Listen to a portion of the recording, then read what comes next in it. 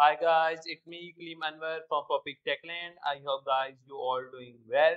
Today our topic how to fix slow Google Chrome. So it is very easy, very simple. You just stay with me. I will tell you step by step.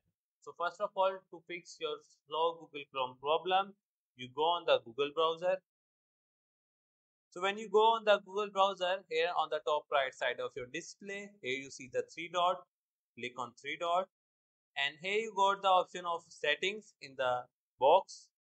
Go to settings.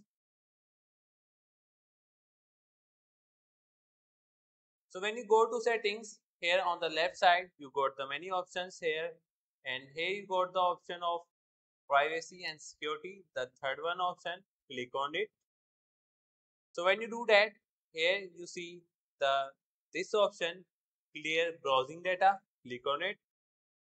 So when you do that, here you first clear your data and here you select your time range like I want to clear my 24 hour data so I click on it.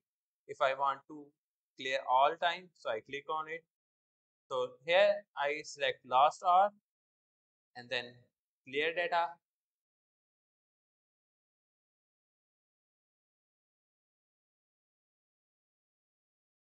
So guys, as you see here, that my data of my Google of last hour has been cleared. So when I do that, here I just do open new tab and close the previous tab.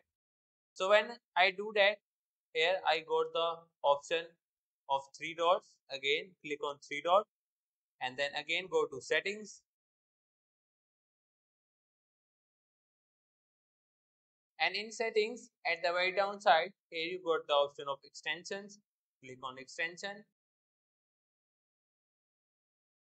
so when you do that here you, you remove the extra extension on your google chrome which do you not want. So when you remove your extension extra extension or google chrome which you do not want you simply close your window. So after that your issue will be resolved. So I hope guys this video will be helpful for you.